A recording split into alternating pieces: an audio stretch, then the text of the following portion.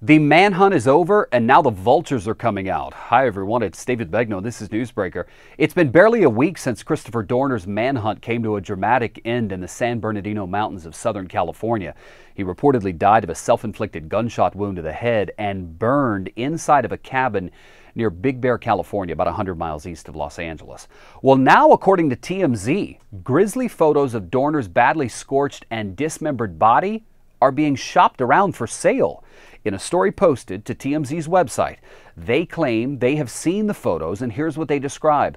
The body is missing several limbs, including an arm and parts of his leg. His midsection is reportedly charred. And TMZ says that despite the intensity of the fire that burned Dorner's body, there were parts of the body that remained intact, such as eyeballs, chest area, and penis.